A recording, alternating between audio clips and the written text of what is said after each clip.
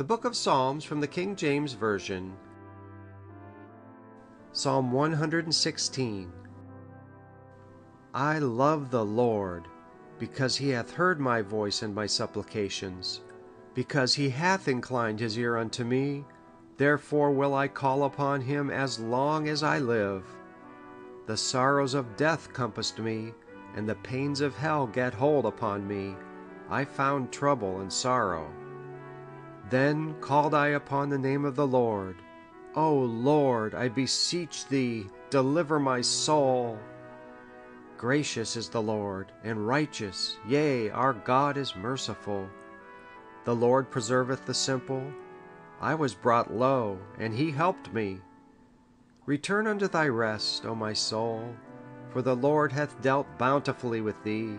For thou hast delivered my soul from death mine eyes from tears, and my feet from falling. I will walk before the Lord in the land of the living. I believed, therefore have I spoken. I was greatly afflicted. I said in my haste, All men are liars. What shall I render unto the Lord for all his benefits toward me?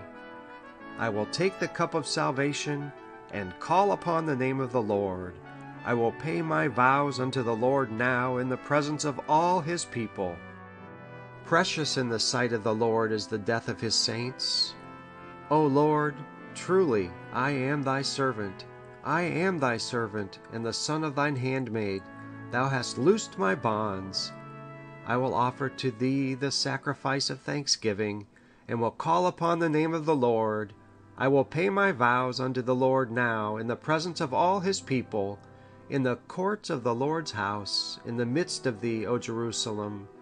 Praise ye the Lord.